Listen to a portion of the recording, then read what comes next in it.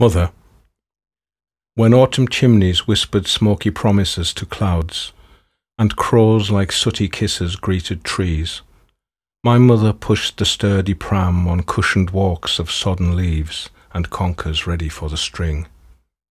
At home the baby had its cosy cot, and I was laid to snuggle on the couch, but she could claim the kitchen's concrete floor, cold cure for the curse I couldn't comprehend and lay there with a wincing promise to survive.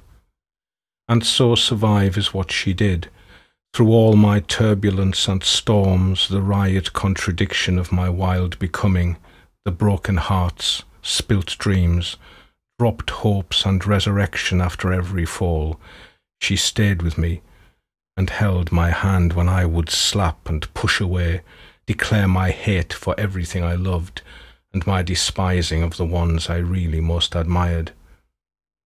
Until that day, in January 82, when darkness fell upon her like a shadow hand, and women weeping rang the hollow bell to tell a heedless world that it was done, and home was turned from nest to blackened bough. I sat beside her on the bed where earlier each touch was pain no kitchen floor could quell. I combed her hair, I stroked her brow, I wished her stay. But she was gone, and I was left to say goodbye, not once, but ever and a day.